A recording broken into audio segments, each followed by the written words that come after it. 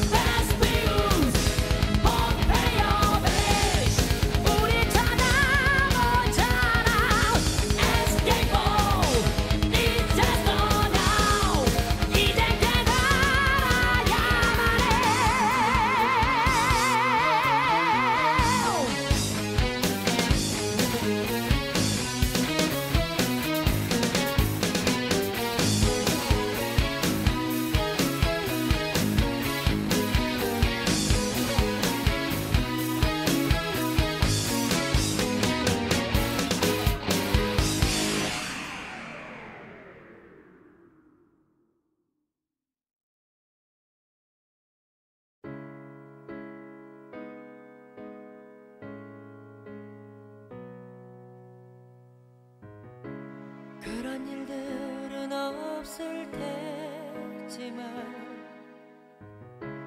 만약에 우리들이 떨어져 이 세상